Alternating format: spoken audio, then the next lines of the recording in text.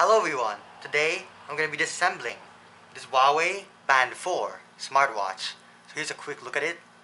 And this doesn't work anymore. Here's the back. Okay. I have this rubberized mat over here so that will be easier and I don't damage my table. So first I'm going to get my hair dryer and try to melt the adhesive.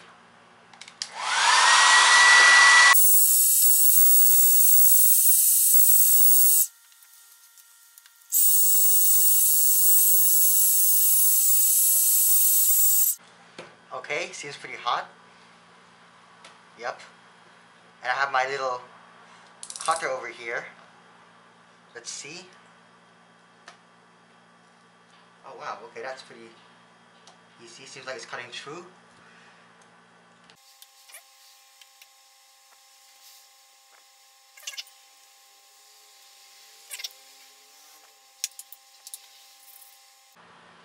I can go under the screen, try to lift it up and it's starting to lift up. There we go. Oh wow, look at that. We get a different angle. So, here's what it looks like from the side. I'm gonna carefully try to open the screen. Now this doesn't work anymore, so it doesn't really matter if it's in one piece when I disassemble it, but I don't want to make a gigantic mess everywhere. Okay, there we go.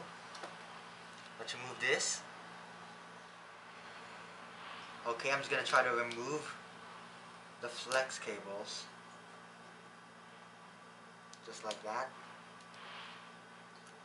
Trying to remove this plastic sticker. There we go. So now this sticker is detached and then I should just be able to pull the screen off. There's some more adhesive at the bottom of the screen. You see all that adhesive Okay.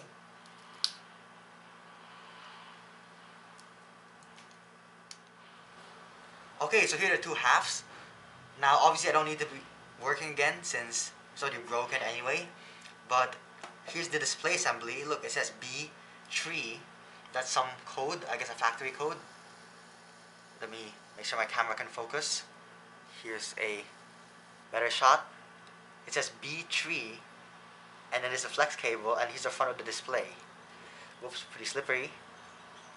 That's the front of the display and then we have the watch itself. So look at this. Here's the sensors at the bottom. This is just what you would typically see. But now we have a look at the inside over here on this side and you can see the battery. There we go there's the battery and a lot of other components. Well that's pretty much it. I'm not going to remove the battery since it's connected anyway. But that's what's inside the Huawei Band 4. So this one just randomly stopped working and we're not actually sure what caused it to stop working. But that's a quick look at some of the components. Looks like a vibration motor to me. And then the electronic circuits underneath. That's probably the main motherboard. Let me give you a better view. And there, you can see some of the insides of the Huawei Band 4. So there's not much, just the motherboard I guess, and that looks like a vibration bar to me. So, there's also a QR code, take a look at that.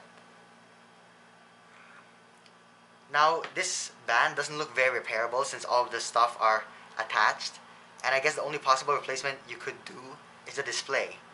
So if you want to replace the battery, it doesn't plug in anywhere. It's just directly connected onto the motherboard.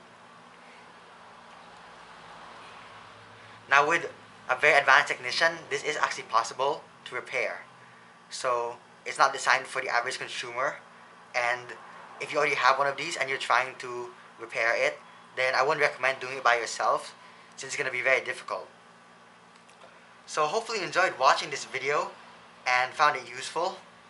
Please like and subscribe for more and also support the channel. Feel free to leave a comment, question, or suggestion down below. So, Thanks for watching.